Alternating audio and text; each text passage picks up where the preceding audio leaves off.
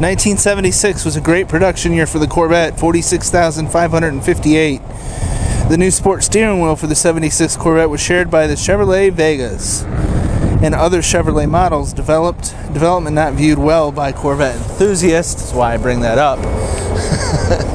the Vega wheels. This 76 is a yellow car, as if you couldn't tell.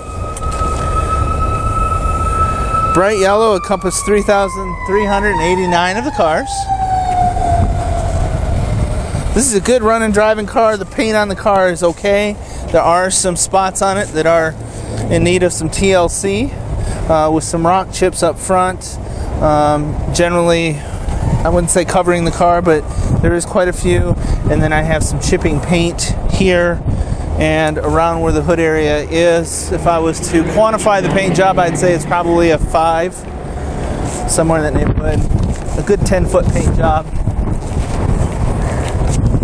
Now, this car is fairly unique in the fact that it is a four speed.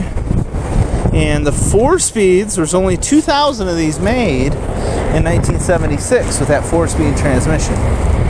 So it makes it a little bit rare. It's tilt telescoping.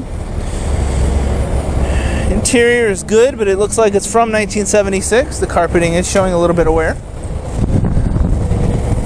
Good weather stripping.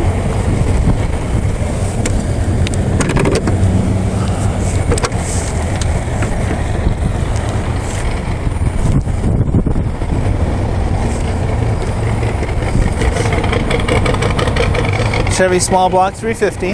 This is an air car. As of this taping, the air is not operational.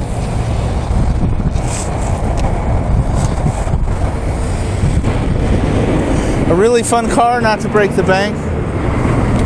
Nice and rare for your local Corvette shows and something you could work on in your spare time. Folks, you can reach me at 770 605 2056. You can email me at john at buyavette.net or stop by. Let's go for a ride. We'll see you all out on the road.